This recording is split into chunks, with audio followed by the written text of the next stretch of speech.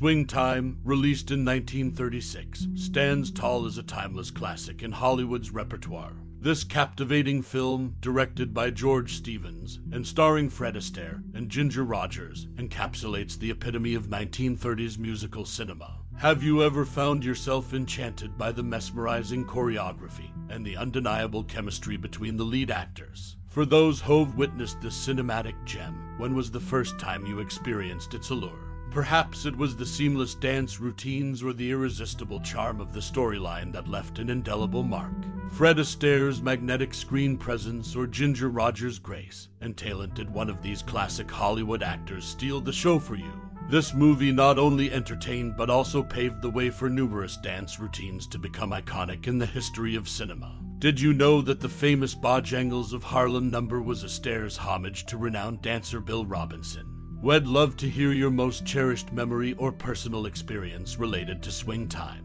Share your stories and memories in the comments below. Let's keep the magic of this classic film alive through shared experiences. Swing Time, released in 1936, holds a significant place in cinema history. This movie gained recognition for its Song A Fine Romance, which earned a spot among the American Film Institute's nominations for the top 100 America's Greatest Music in the Movies. With a 97% rating based on 29 critic reviews on Rotten Tomatoes, it stands as a highly acclaimed film in the eyes of many. Directed by George Stevens, known for his perfectionism, the movie's production saw multiple takes, even for non dancing scenes. Stevens' attention to detail and insistence on achieving perfection contributed to the film's quality, making it a standout piece in the realm of classic cinema. The enduring praise and critical acclaim solidify Swing Time as a timeless classic that continues to captivate audiences with its musical prowess and meticulous craftsmanship. The film Swing Time holds a significant place in cinema history. In 2007, the American Film Institute recognized its greatness by ranking it as the 90 greatest American movie of all time.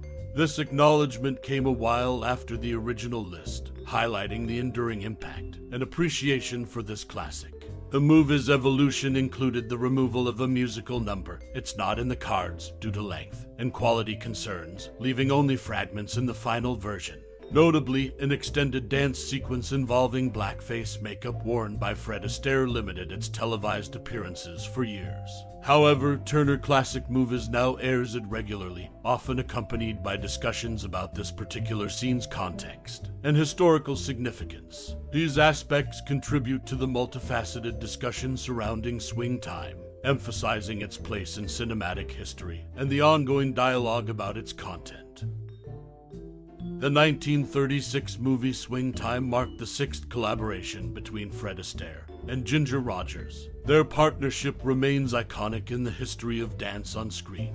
Notably, the film secured its place in the American Film Institute's 2004 list of the top 100 America's greatest music in the movies, claiming the 43rd spot for the timeless song The Way You Look Tonight. In this movie, during the scene for the song, Ginger Rogers struggled to keep soap from running down her face while washing her hair. The crew experimented with various options, finally finding success using whipped cream to achieve the desired effect. This particular detail sheds light on the meticulous attention to detail in creating iconic scenes. The film's legacy is defined by the enduring partnership of Astaire and Rogers and the recognition it received for its unforgettable music.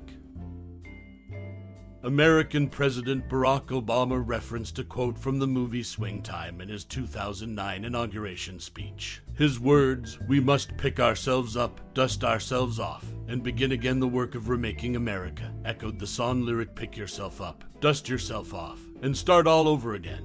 This notable mention highlighted the enduring relevance and impact of Swing Time beyond its initial release. The film, part of the American Film Institute's 1998 list of 400 nominated movies for the top 100 greatest American movies, continues to resonate through its timeless messages, influencing even the highest levels of public discourse. Fred Astaire's character in the 1936 movie Swing Time portrays a dancer turned gambler, forming the namesake Lucky Penny with the other protagonist. Notably, the $25,000 Lucky needs in the film equates to over $530,000 in 2022. However, one striking element lies in the Bojangles of Harlem number. Despite its tribute title to Bill Bojangles Robinson, the routine actually pays homage to Astaire's mentor, John Bubbles, depicting Bubbles' Sportin' Life in Porgy and Bess. Astaire emulates Bubbles' rhythmic tap style, distinct from Robinson's, offering a unique portrayal that resonated with audiences familiar with Bubbles' iconic performances. This homage adds depth to Astaire's tribute and enriches the understanding of his creative choices in the film.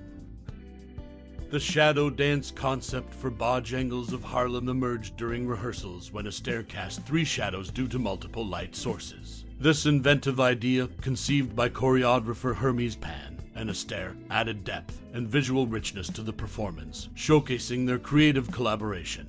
The interplay of shadows accentuated Astaire's movements, enhancing the number's artistic impact and making it a memorable sequence in the film. This innovation in choreography highlights the meticulous planning and artistic ingenuity behind the iconic dance routines of the 1936 movie Swing Time.